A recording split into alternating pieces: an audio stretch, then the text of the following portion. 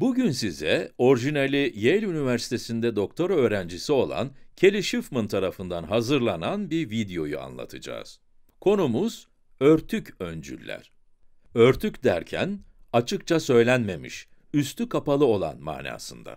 Genelde bir sonuca varmak için bir argüman sunduğumuzda, bu sonuca ulaşmak için gereken tüm öncülleri açıkça belirtmiyoruz.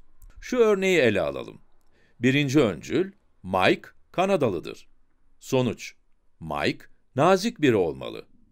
Mike'ın Kanadalı olduğunu belirten öncülden, onun nazik olduğu sonucuna varmak için, tüm Kanadalıların nazik olduğunu belirten ikinci bir öncüle ihtiyacımız vardır. Bu argüman ancak o zaman geçerli olur.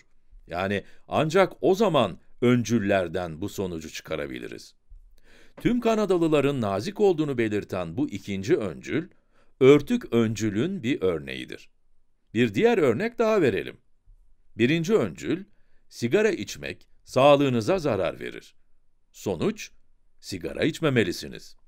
Buradaki örtük öncül, sağlığınıza zarar veren şeyleri yapmamanız gerektiğidir. Bu iki durumda da argümanın geçerli olması için örtük öncüller gerekli olsa da, sanki onların örtük olarak kalması kabul edilebilir gibi geliyor.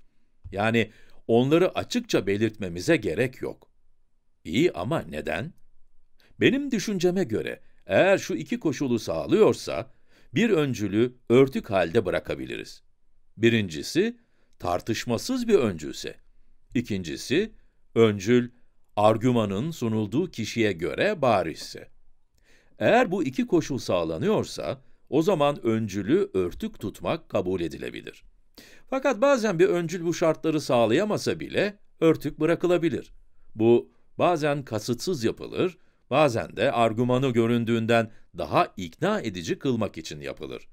Sebebi ne olursa olsun, argümanda örtük öncül olması ihtimaline karşı duyarlı olmak ve bu tür öncülleri tespit edebilme alışkanlığı geliştirmek bu yüzden önemlidir.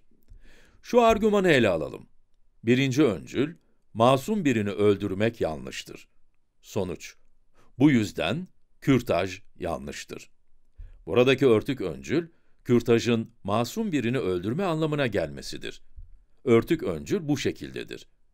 Bu öncülün doğru veya yanlış olmasından bağımsız olarak şunu söyleyebiliriz. Bu, kesinlikle tartışmasız bir konu değildir. Yani birinci koşulu sağlamıyor. Aynı zamanda bu öncülü duyan insanların gözünde öncülün bariz olduğunu da varsayamayız. Yani ikinci koşulu da sağlamıyor. Bu yüzden bir argümanın ne kadar sağlam olduğunu değerlendirirken öncülün bariz olup olmadığına bakılması ve eleştirel olarak üzerinde düşünülmesi çok önemli. Örtük öncüllere karşı duyarlı olmak, argümanları daha iyi analiz etmenize yardımcı olabilir.